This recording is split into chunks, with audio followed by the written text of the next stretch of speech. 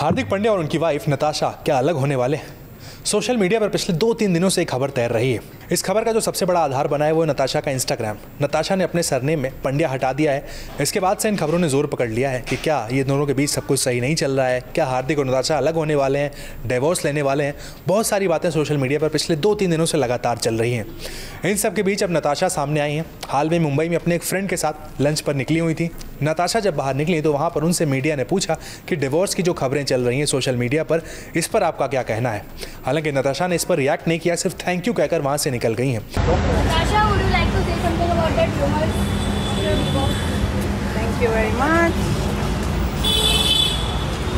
लेकिन ना उन्होंने हाँ कहा है, ना ना कहा है मतलब किसी भी तरीके से रिएक्ट करने से मना कर दिया है। इन खबरों के अगर आधार की बात करें तो सिर्फ़ इंस्टाग्राम पर सरनेम हटाना नहीं है। चार मार्च को जन्मदिन था, नताशा का, वहाँ पर हार्दिक पंड्या के सोशल मीडिया पर हमने देखा, कोई पोस्ट नज़र नहीं आया। आमतौर पर अपनी वाइफ के जन्मदिन पर वो अक्सर पोस्ट करते हैं, लेकिन इस बार चार मार्च को जब जन्मदिन था तो कोई पोस्ट वहाँ पर नज़र नहीं आया। इस बार IPL के मैचेज में हमने देखा, नताशा अक्सर जाती हैं, लेकिन ज़्यादा इस बार IPL के मैचों में भी नताशा नज़र नहीं आई।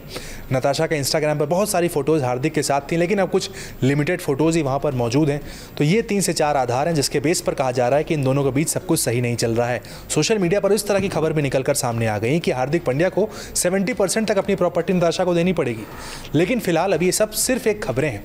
इन खबरों का अभी फ़िलहाल सिर्फ़ ये आधार है कि जो हमने कैलकुलेट किया है कि इस बेसिस पर इन दोनों के बीच चीज़ें सही नहीं चल रही हैं। लेकिन अब तक स्टेटमेंट ना हार्दिक की तरफ़ से आया, ना नताशा की तरफ़ से आया है। सिर्फ़ ये स्पेकुलेशन है, जिसमें कहा जा रहा है कि भाई इन दोनों के बीच सब कुछ सही नहीं चल रहा है। ये वजह है जिसके चलते कहा जा रहा है कि दोनों अलग हो सकते हैं। लेकिन जब तक स्टेटमेंट नहीं आता, जब तक कोई कन्फर्मेशन नहीं होता, तब तक कुछ भी फ़िलहाल किसी मोड़ पर पहुँचना सही नहीं है। दोनों की अपनी निजी ज़िंदगी है, चाहे हार्दिक की हम बात कर लें। बहुत ज़्यादा क्रिटिसिज्म आईपीएल में मिला है उनको। ख़राब परफॉर्मेंस उनकी टीम का रहा है, कप्तानी उनकी अच्छी रही नहीं है। और अब ये खबरें जब उनके साथ आ रही हैं तो ज़रूर बहुत सारे लोग हैं जो कह रहे हैं, भाई, हार्दिक पांड्या, अपना ध्यान रखिए। वहीं बहुत सारे जो ट्रोलर्स हैं, वो लगातार जो ट्रोल करते हैं, वो अपना ट्रोल करने का काम कर रहे हैं। लेकिन क्या वाकई दोनों अलग होने वाले हैं, ये तो वक्त बताएगा, क्योंकि फ़िलहाल अभी तक दोनों की तरफ़ से कोई स्टेटमेंट नहीं आया है।